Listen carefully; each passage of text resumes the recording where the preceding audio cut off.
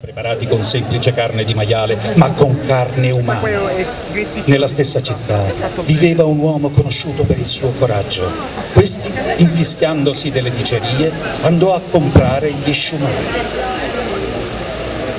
Tuttavia, mentre stava rientrando a casa, ebbe uno strano presentimento. Si voltò indietro, ma non c'era nessuno chiedendosi se non fosse successo qualcosa alla scatola che conteneva gli sciumai. L'aprì. Che era successo? Lui vide che uno degli sciumai era scomparso. Nonostante il suo coraggio, l'uomo rimase letteralmente terrorizzato dall'inquietante scoperta che aveva fatto. Poi pensò che dovesse trattarsi di una semplice dimenticanza da parte del negoziante. Però Volle verificare di aver visto bene e riaprì la scatola al successivo angolo di strada e così scoprì che non mancava soltanto uno sciumai, ma due. L'uomo si spaventò ancora di più e corse fino a casa. Poi, una volta lì, si costrinse a calmarsi e ritrovato il coraggio, aprì nuovamente quella scatola. Spaventoso, altri tre sciumai erano spariti in una volta sola. Ah! L'uomo preda al terrore lanciò un grido con tutta la voce che aveva. Richiuse un attimo il coperchio e poi piano piano, lentamente, lo riaprì. Spariti.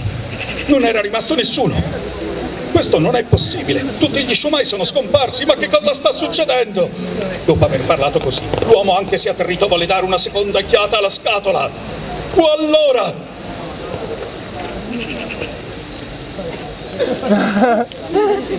e scoprì che tutti gli sciumai si erano attaccati al coperchio della scatola. Lo avete riconosciuto? Ebbene sì, alla Reggia del Fumetto è qui con noi Massimo De Ambrosi. Ciao, grazie. Grazie a tutti, grazie. Doppiatore che ricorderete sicuramente in Fight Club come voce di Edward Norton, fino ad arrivare a Ken il Guerriero e tanti altri ruoli nel campo dell'animazione e non solo. Massimo, sei qui con noi oggi per farci conoscere più da vicino il mondo del doppiaggio, anche perché non tutti sanno il lavoro che c'è dietro e avremo dunque modo di saperne di più. Ma prima parlaci un po' di te, so che hai iniziato la tua carriera in teatro, cosa ti ha spinto a diventare un doppiatore e che difficoltà hai incontrato all'inizio? Allora mi alzo, se no sembro un nano vicino a te seduto. Cioè, e intanto voglio, mi ha fatto veramente piacere essere invitato qui perché ho, ho, incontrato tante persone con tanto entusiasmo ed è bellissimo vedere eh, tanto entusiasmo intorno a queste cose perché almeno sono delle cose sane che non fanno male a nessuno, è bellissimo. Io ringrazio voi perché mi avete trasmesso proprio tanto affetto, tanta, tanta attenzione sul lavoro che faccio, perché poi il lavoro che faccio è, è un, eh, un, lavoro che noi chiamiamo a Roma un lavoro da sorci, da topi, noi stiamo sottoterra e facciamo un lavoro che non, non viene mai alla luce, nel senso che noi eh, diamo solo voce a una cosa che poi viene vista e invece vedere insomma, che la gente si rende conto che c'è tutto un lavoro dietro è bellissimo, vi ringrazio tanto. Dunque, cosa ti ha spinto a diventare doppiatore? Che difficoltà hai incontrato inizialmente?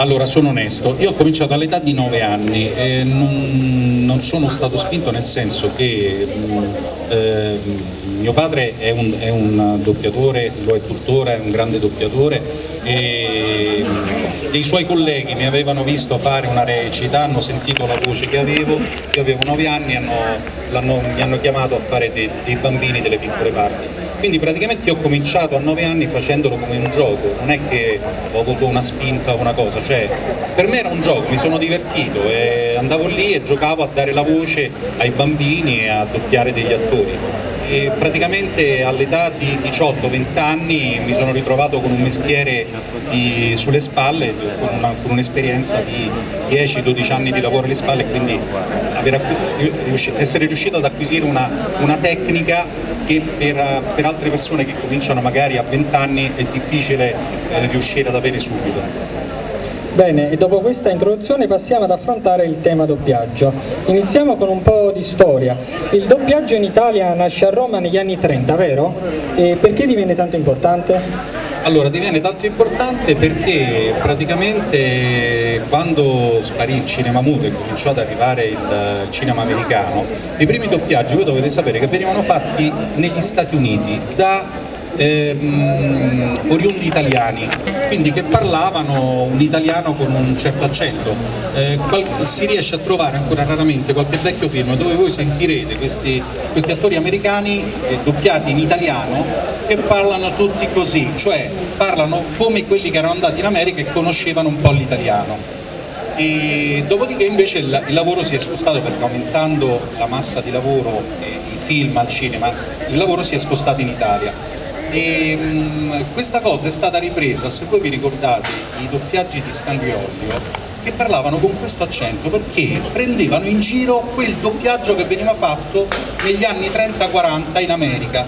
E quindi sia Olio che Staglio parlano proprio con questo accento americano, una era Alberto Sordi che doppiava Olio, e lo faceva prendendo in giro quegli attori e lo faceva con questo accento americano. Dopodiché c'è stato il, il boom in Italia, tanti film che sono arrivati e quindi il lavoro è diventato molto più specializzato. Prima erano degli attori di teatro o di cinema che si gettavano nel doppiaggio, provavano a fare di doppiaggio. Dopodiché è diventato un lavoro estremamente specializzato, anche perché eh, la tecnica è completamente diversa da quella del teatro o da quella del cinema o della televisione, sono tre cose completamente diverse. E dunque torniamo alle nostre clip per mostrarci la tua abilità. Iniziamo dal tuo attore preferito, Edward Norton, nel film Fight Club.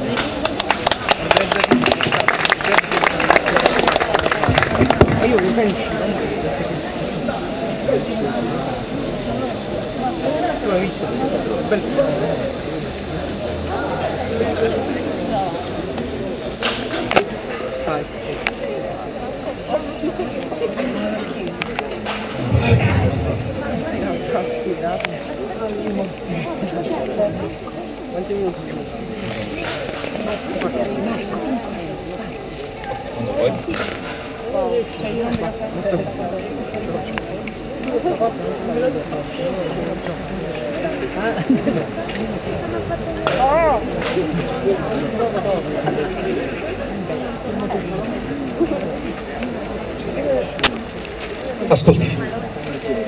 deve arrestare. Sono il capo di un'organizzazione terroristica responsabile di numerosi atti di vandalismo e di assalti in tutta la città, nella zona metropolitana con qualche centinaio di membri. Sono già spuntate siti in altre 5 o 6 grandi città. È strettamente irregimentata l'organizzazione, con molte cellule capaci di operare in modo del tutto indipendente da un comando centrale. Ora vada alla casa. Va bene? 1537 di Paper Street. È il nostro quartier generale. Sul retro, seppellito nel giardino, troverà il corpo di Robert Pulse. Nello scantinato troverà delle vasche da bagno usate molto recentemente per fare grandi quantità di nitrogliceri. Penso che il piano sia far saltare in aria le sedi delle società di carte di credito e il palazzo della TRW. Perché questi edifici? Perché le società di carte di credito? Se si cancella la traccia di debiti, allora torniamo tutti a zero. Si crea il caos totale.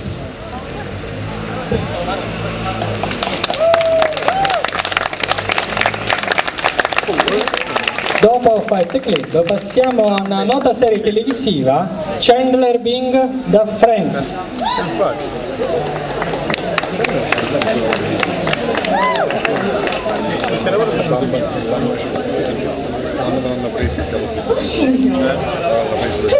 L'hanno identico. Ah, sì, sì, sì.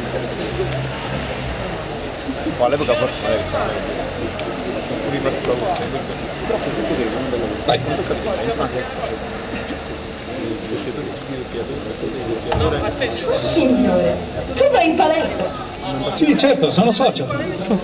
Dovrei andarci tre volte a settimana, ma sono mancato le ultime 1200 volte. E allora perché non ti ritiri? Credi che sia così facile? Oppure che sia divertente farmi prelevare ogni mese 50 dollari dal mio conto? No, prima di tutto devi andare a parlare con loro. e dopo usano un sacco di strane battutine per confonderti e poi tirano fuori Maria. E chi è Maria? Oh signore! È una bambola inguanata in un mini costume che ti guarda come se fossi l'uomo dei suoi sogni. Vuoi che ti accompagni io e che ti tenga la mano? Nah, La preferisci affrontarla da solo? oh no, no, vieni pure con me se vuoi.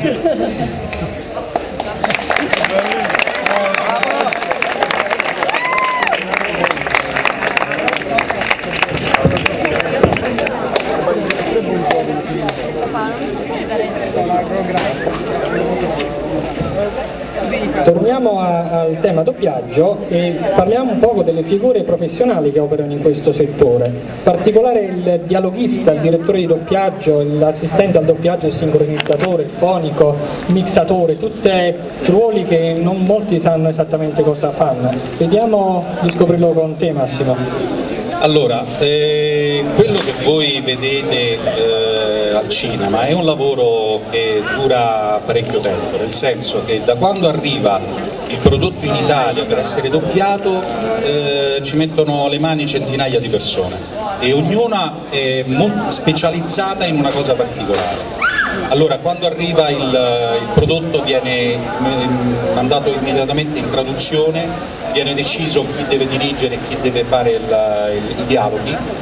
Dopo la traduzione c'è un adattatore che prende la traduzione e adatta eh, quello che è la traduzione letterale dell'inglese ai battiti italiani, cercando di prendere quelle che noi chiamiamo le labiali, cioè i movimenti della bocca, le A, le O, e cercare di dire esattamente lo stesso concetto in, in lingua italiana, però cercando di avvicinarsi il più possibile ai movimenti della bocca. È un lavoro da, da certosini che viene fatto a casa, davanti al computer, con eh, il copione e tutto quanto.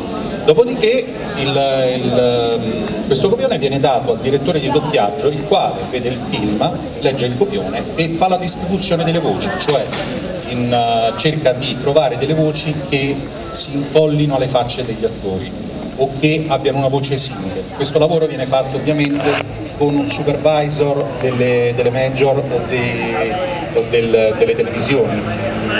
Dopodiché si va in sala, eh, viene fatta una preparazione del lavoro, La- l'assistente di doppiaggio prende tutto il film, lo taglia a pezzettini e organizza il lavoro in maniera tale da chiamare gli attori per eh, cercare di farli venire ehm, in alcuni turni o per fare le scene solo con l'altro con cui parla, insomma è tutto un lavoro di organizzazione ehm, cioè per cercare di ottimizzare il lavoro in sala.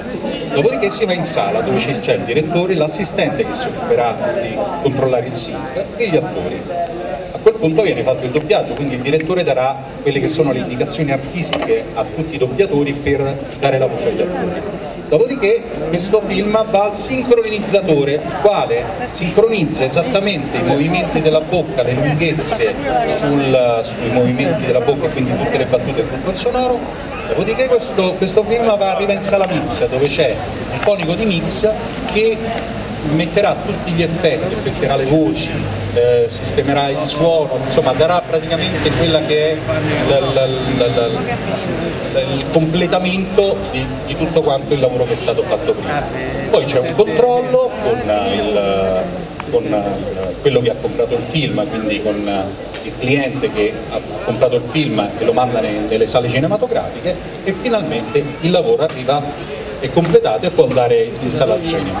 Questo ovviamente avviene in tempi che possono essere anche di due mesi, quindi c'è tutto un lavoro dietro abbastanza lungo su alcuni lavori, su altri sono molto più brevi, dipende dal tipo di lavoro e dal budget.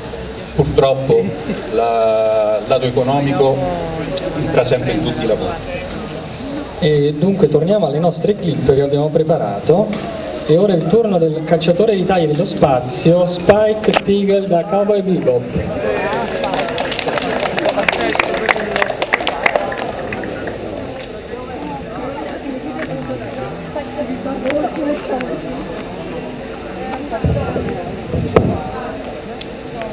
Vai.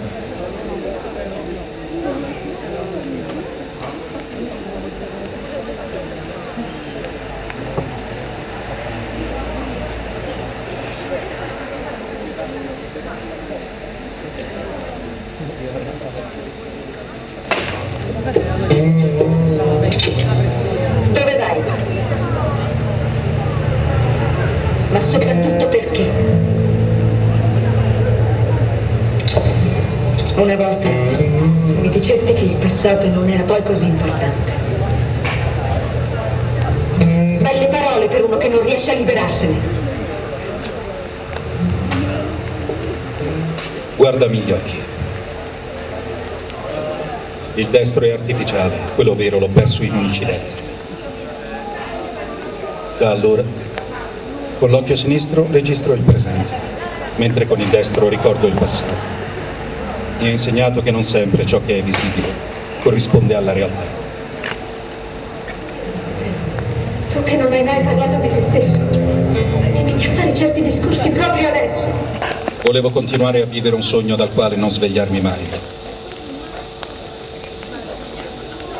Ma poi all'improvviso mi sono svegliato. Io ho riacquistato la memoria. Non ho trovato niente. Non ho una casa dove riposare. Nessuno ad aspettarmi.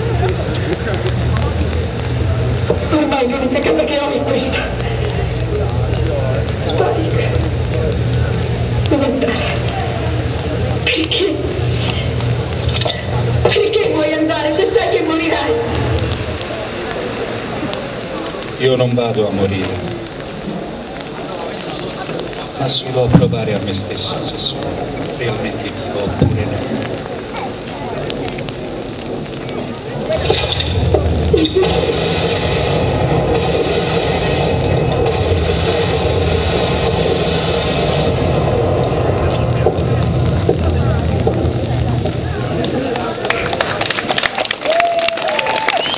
E dopo Spike è il turno del reverendo Wolfwood da Trigan.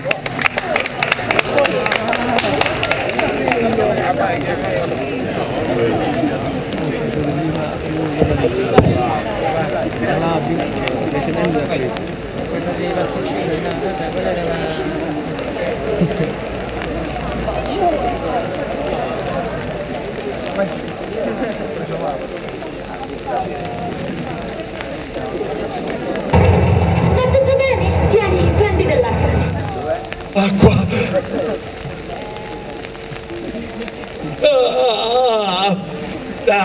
mi sento rinato. Ti devo la vita. Senti che... Era mia! Cosa ci facevi là in mezzo al deserto?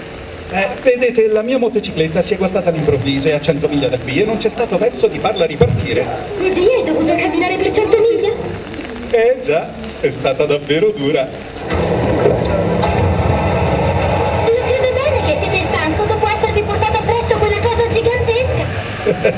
Un buon venditore non abbandona mai i suoi articoli. Un venditore? Sì, sono un pastore. Non mi dire. Non avreste un po' di latte delle vostre pecore? Ma no, che avete capito? Io milito nell'esercito dell'amore, salvo pecorelle smarrite. Piuttosto siete state voi a trovarmi, vero? Quindi sono in debito. Ah no, dovvi starti per primo malgrado fossimo estremamente distanti. È stato questo tizio qui. Eh? Ma... Ah, ma allora sei tu il mio salvatore, è te che devo ringraziare. Eh, eh. Il mio nome è Valentino della Criniera Twin Jerks Sisifo Van Cliff Boiler. E festione gamba di legno Blue Eyes Stradivari Kaiser Sose Pier Tarantino Andreas Charton detto anche Dolores Gamera George Mossi Ivanovic Baldius. Per gli amici Ziva e il possente sono lieto di conoscervi. Ah, quanto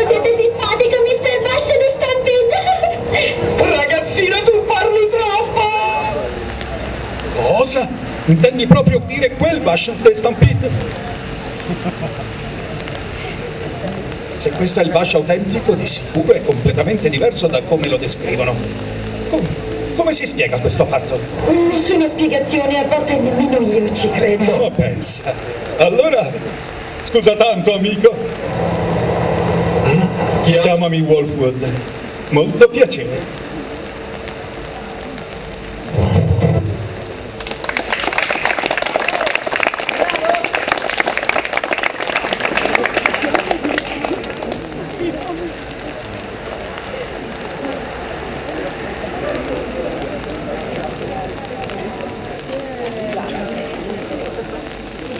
Torniamo a parlare di doppiaggio, un'altra domanda. Come affrontate la questione dei differenti accenti che certi personaggi hanno nella lingua originale?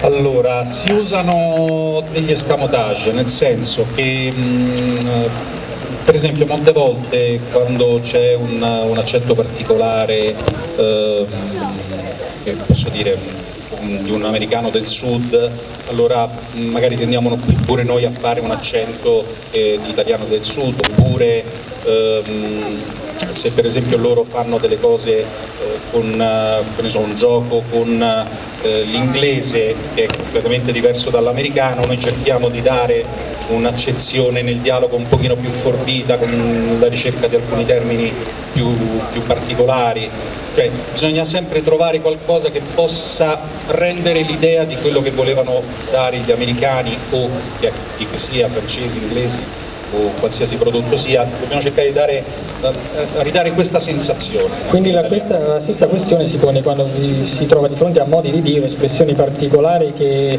eh, nella lingua originale come si fanno poi per renderli in italiano, senza fargli perdere il senso? Eh, infatti bisogna cambiare, bisogna trovare un corrispettivo in italiano, cioè faccio l'esempio più lampante, in inglese loro usano un'accezione quando, quando piove forte, dice piovono cani e gatti che per noi sarebbe piove a catinelle, ma noi perché esiste un corrispettivo italiano, quindi ogni volta bisogna andare a cercare qualcosa di, che sia simile, almeno come idea, nel, quando si fa il dialogo, questo ovviamente è compito dell'adattatore e compito del direttore del doppiaggio.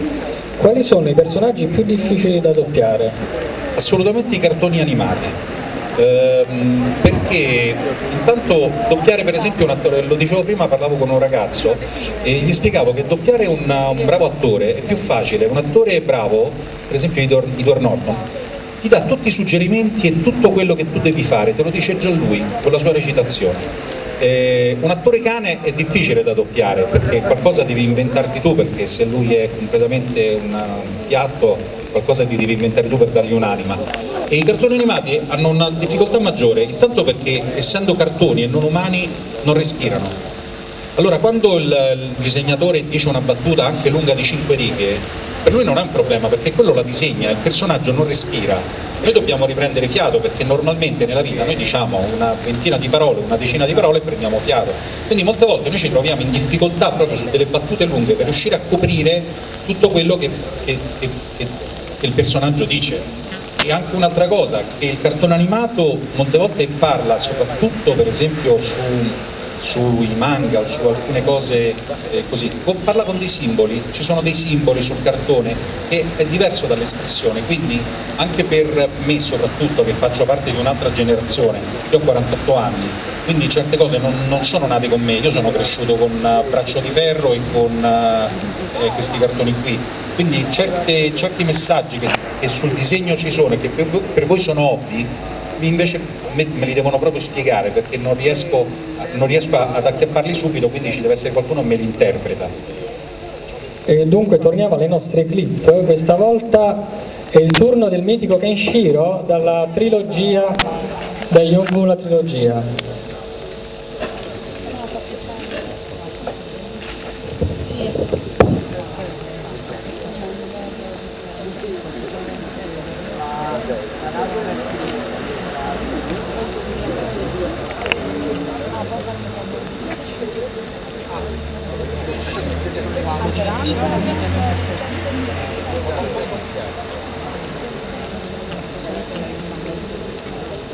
Scusate, stavo spiegando che, perché siccome lui leva nel momento in cui io parlo, stavo spiegando che i versi di Kenshiro sono, sono originali, io non l'ho mai fatti, sono stati ripresi dall'originale perché intanto era una voce completamente diversa da quella che è il personaggio, che è molto, quando fa watatatata, insomma, lo sapete benissimo, sono mh, molto acuti e invece la voce di Kenshiro è molto bassa, addirittura quella che sentite qua non è effettivamente quella che avete sentito nei cartoni, la mia voce veniva effettata, cioè dopo il doppiaggio eh, con il computer mi levavano tutte le frequenze alte per cercare di, di abbassare ancora di più il tono della voce.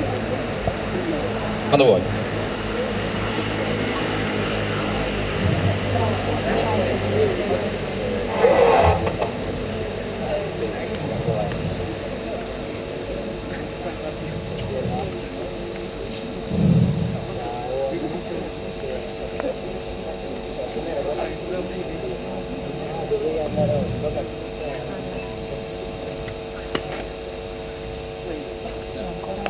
È una carta.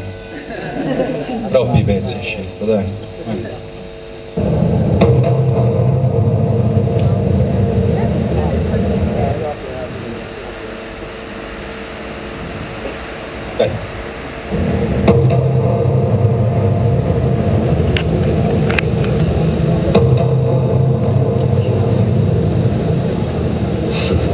Sembra proprio che tu utilizzi il mio stesso campo. No, questa è la divina scuola di Okuto. Dovresti conoscerla molto bene. In a scuola di Okuto. Ma certo, il pugno del fondatore, di conseguenza tu dovresti esserne l'erede. Ora che ci penso, il mio maestro mi ha detto che la tecnica del portale del nord deve essere tenuta segreta e che se tale regola non viene rispettata, allora sopraggiunge il giudizio di Okuto. La divina scuola di Okuto prevede l'Ishisoden. Anche se il tuo campo è una disciplina derivata, devo comunque sigillarlo. È il compito dell'erede. Per quanto mi riguarda, simili regole possono andare all'inferno. Ho appreso la mia tecnica per diventare forte, se non potessi più usarla. Cosa potrei fare di te adesso?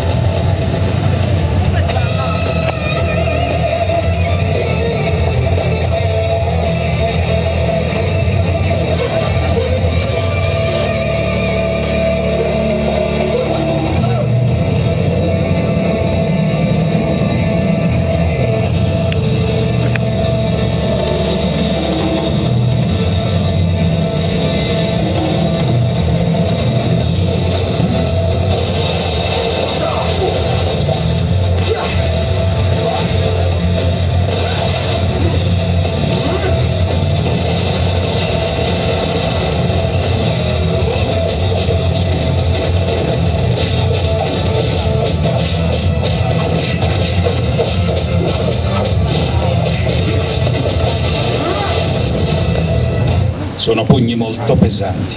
Dimmi, per quale ragione lo sono così tanto? È tutta opera dell'ambizione, è proprio essa che dona la forza a un uomo.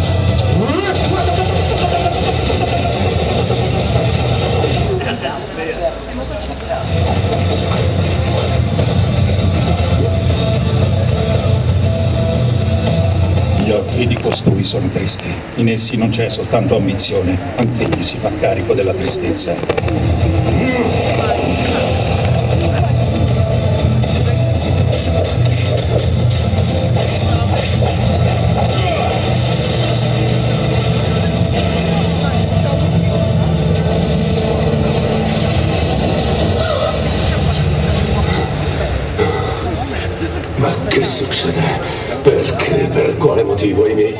Sono efficaci su di lui? Non te ne sei reso conto? I tuoi movimenti perdono progressivamente fluidità. Cosa?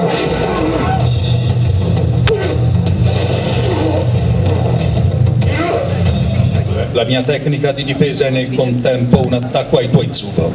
In definitiva, incrociare i pugni con me significa morte per l'avversario.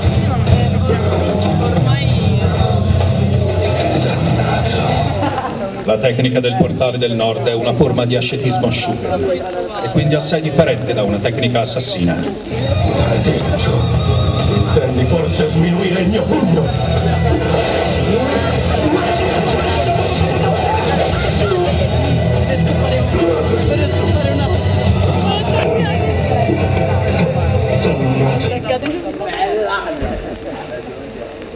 Lo scontro si conclude qui.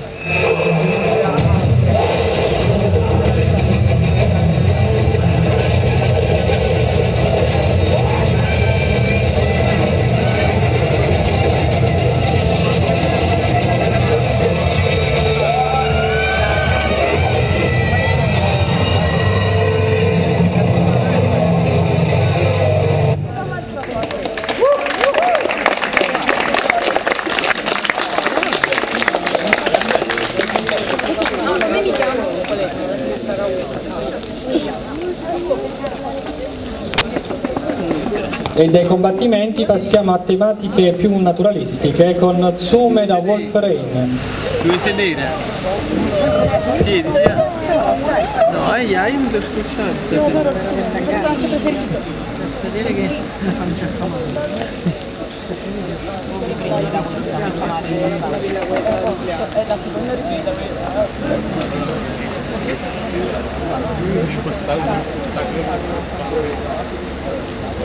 Gracias.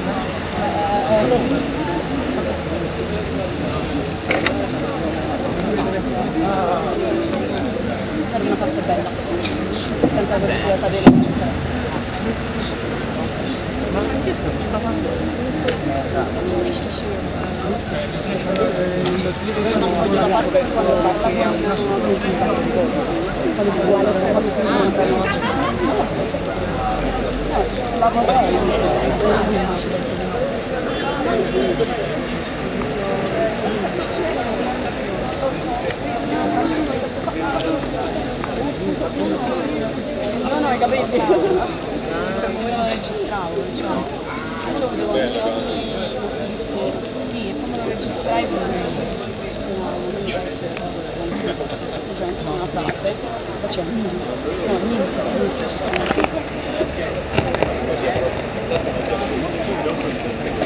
Ciao Anna,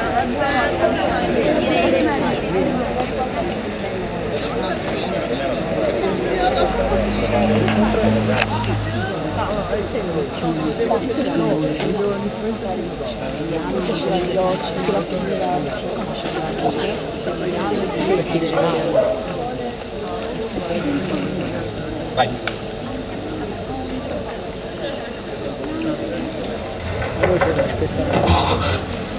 Perché siamo venuti in questo posto? Abbiamo sentito l'odore del tuo sangue. E cosa? Sentiva fino dalla città. Siete venuti qui per assistermi? Non sono affari che vi riguardano. Come? Ecco, io... Ecco... Vieni insieme a noi. Lasciamo insieme questa città. E dove vorreste andare una volta formato questo gruppo? Al Dracula. Che assurdità. Non dirmi che li segui credendo a questa storia. Non lo so, però... Rimanendo in questo posto sarei costretto a vivere continuando a nascondermi. Ho capito che non posso continuare a vivere con gli esseri umani. Non che questa storia mi interessi, ma ho cominciato a fiutare un odore orrendo. Siamo circondati. Per quale motivo? Anche voi siete arrivati in questa città. Non era per via dell'odore di fiori? Ormai non c'è più un motivo per rimanere. L'odore di fiori non c'entra minimamente. A me si addice questo posto. Hai ragione, questa è una città sporca. Noi abbiamo ancora un conto in sospeso, vero? Abbiamo tempo da perdere. Sbaglio o il tuo orgoglio non ti permetteva di confondere il tuo aspetto e farti apparire come un essere umano? Vorrei sapere ora tutto quello che il tuo orgoglio dove è andato a finire. Nessuna parte. In me non è cambiato niente. Capisci veramente che cosa possa significare abbandonare questa città? Sì, Andrai incontro alla morte. a morire che prevale della vita non sono cose innaturali. È più innaturale vivere senza avere uno scopo.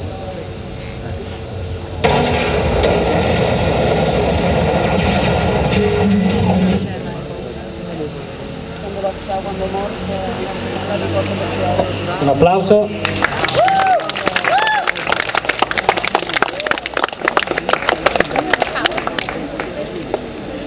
E torniamo alla nostra intervista con un'altra paio di domande. Il doppiatore può apportare dei cambiamenti ai dialoghi?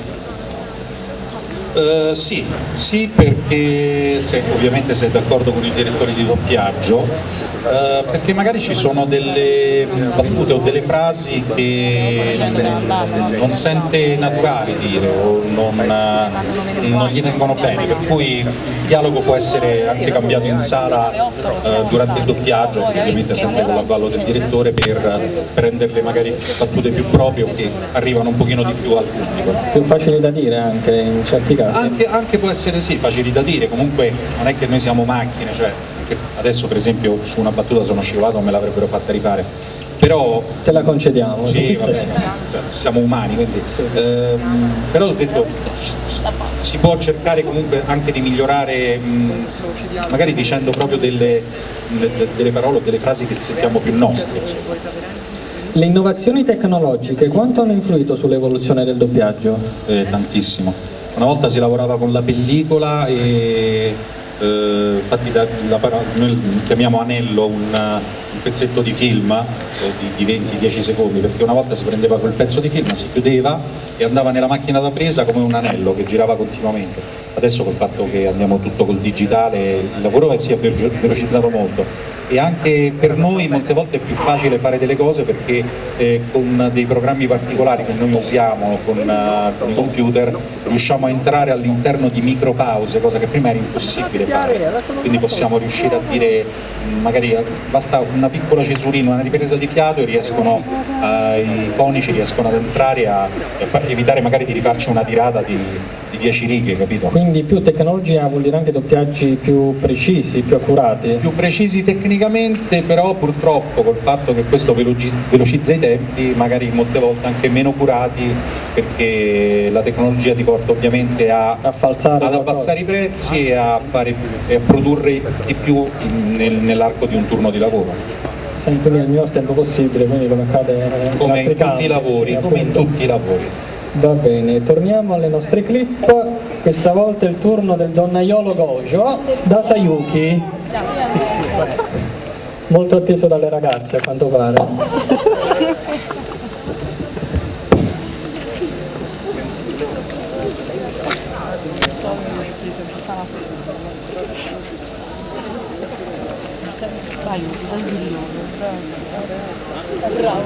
Ancora non c'è nudo, la rendi, vogliamo dire. Serie, la serie a fumetti. La poveretta? Eh, Ah, veramente?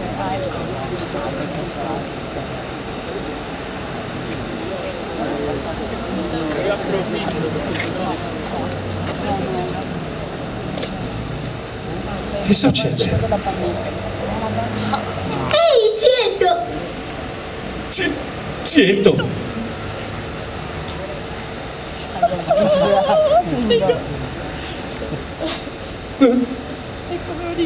Ascolta signorinella, Zietto mi sembra poco appropriato, chiamami semmai fratellino. Sono stato chiaro? Bene, se hai capito, la questione è sistemata. Ci vediamo? Aspetta un momento! Ma se ti ho appena detto... Fratellino, ho detto bene! Ma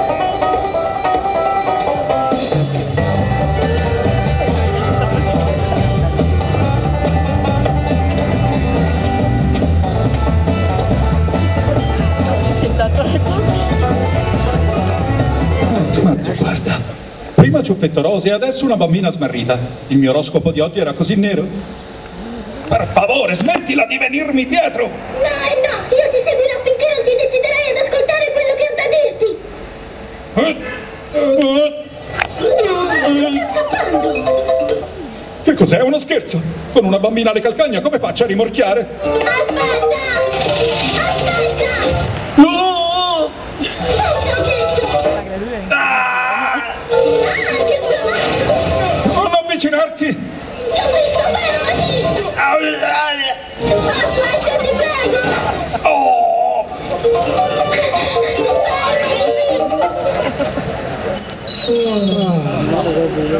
Finalmente sono riuscito a liberarmene.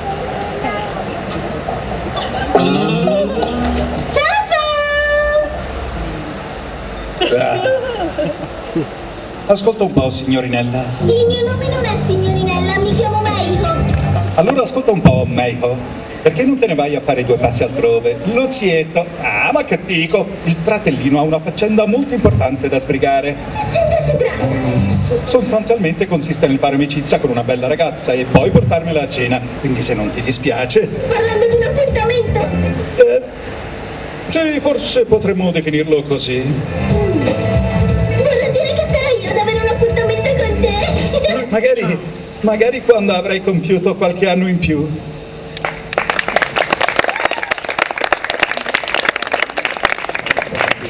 E dopo Goggio il turno di Leorio da Hunter for Hunter.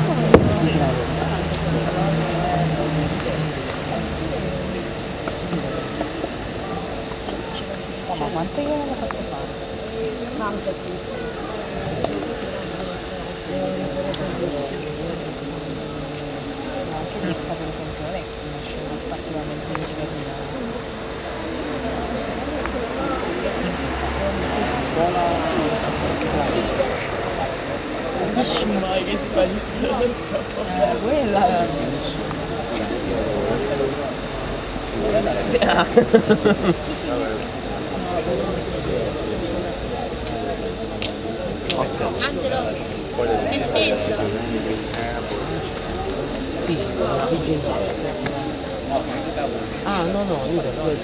Beh, al contrario, io a un punto adesso. Ah, sì, sì,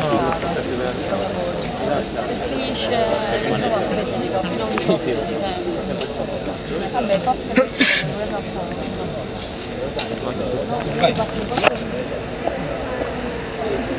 tempo. Vabbè, forse Ah, la parte finale in cui Ah. la, la femmina, no, la femmina, vale, lei Ah, è una fatta, anche c'è confermato, fa finta di spararsi, no, non so mai, c'è fatto dell'occhio, guarda prima, prima, poco prima della terza. Non ci vedi? L'altra cosa che mi devo comprare. Poi puoi ottenerla senza bisogno di diventare un hunter. Aleo.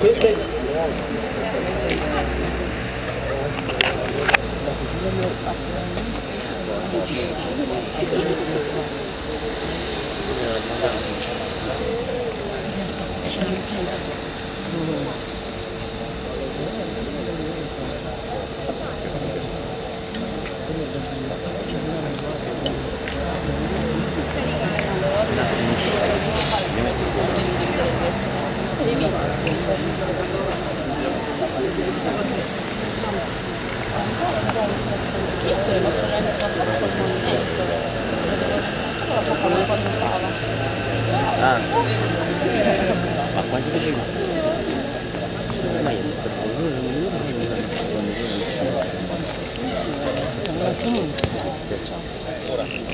Non blocco per prendere, no?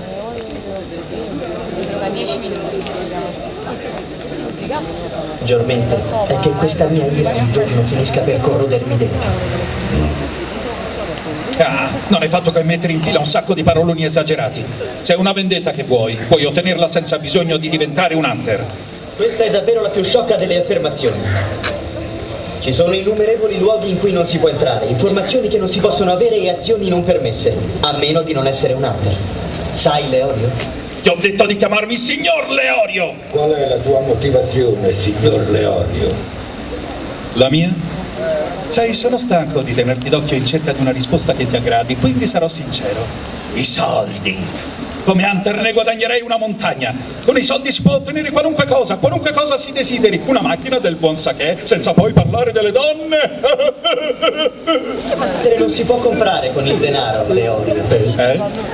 Ah. Con questo siamo a tre. Forza, vieni fuori. Pare che la gentaglia della sporca tribù dei Kuruta non conosca le buone maniere. Ritira immediatamente le parole che hai detto, Leorio. Signor Leorio, capito?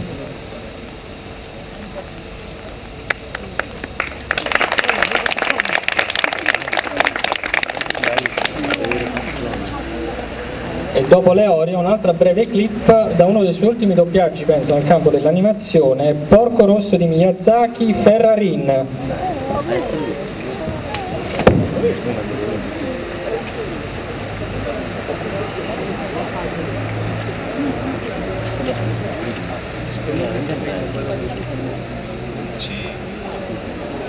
Siate buoni, è un po' difficile questo pezzo.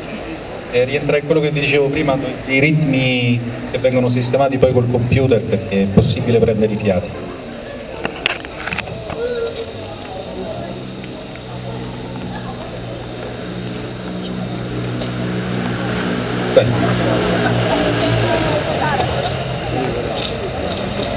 O maggiore, sei stato promosso, Ferrarin. È stupido, per quale ragione sei tornato? Io ero dovunque mi vada di andare. Stavolta le autorità non chiuderanno un occhio. Sei stato pedinato? Seminati.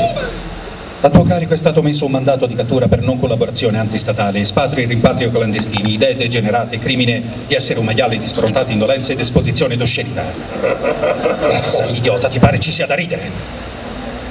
Parlano anche di confiscare il tuo idrocaccia. Certo, è proprio un film tremendo.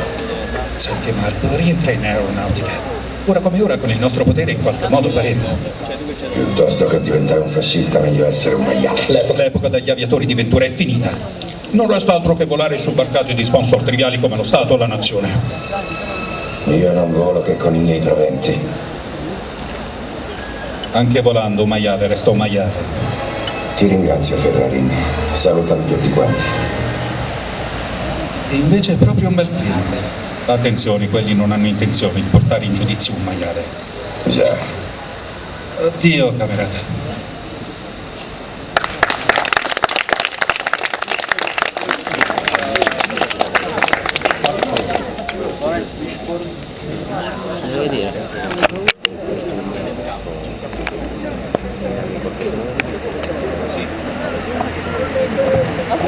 Torniamo alle nostre domande sul tema.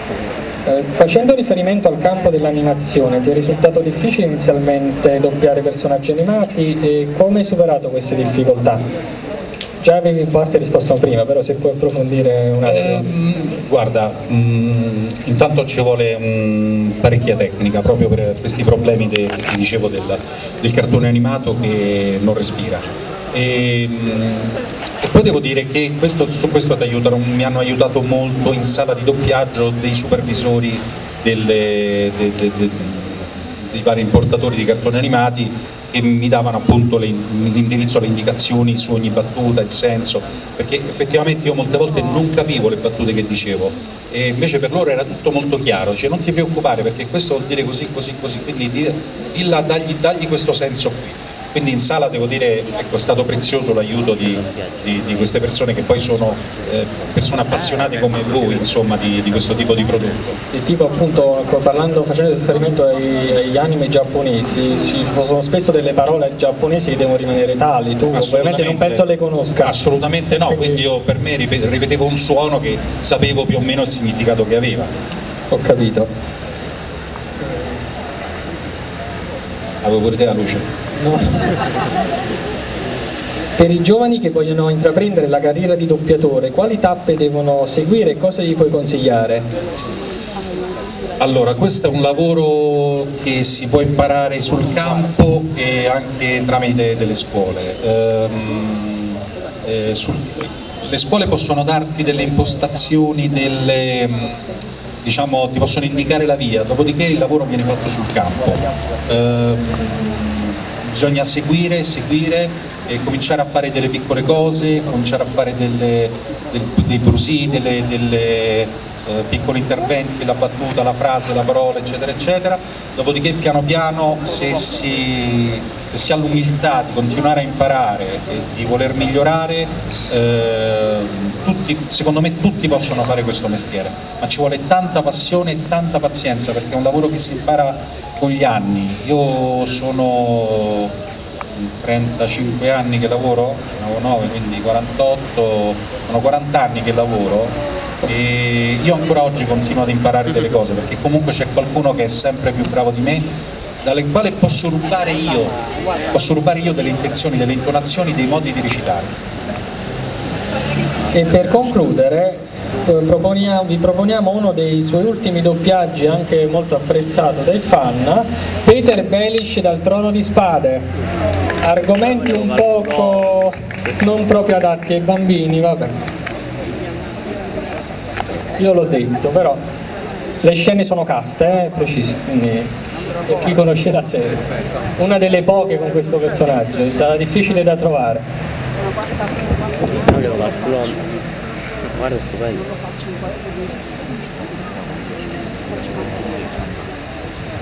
Eh, Vai, vai.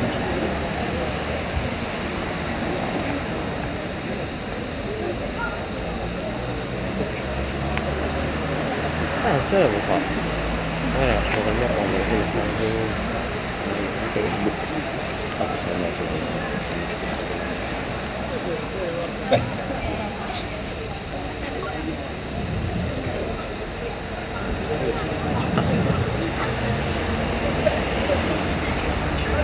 Tutti loro e i sorridono e si inchinano a te dopo che ti hanno deriso vero? Sarà dura per loro sorridere e inchinarsi senza la testa. Uomo vizioso senza principi morali, non scommetterei contro di te. Tu cosa faresti, amico mio, se stessi seduto là sopra?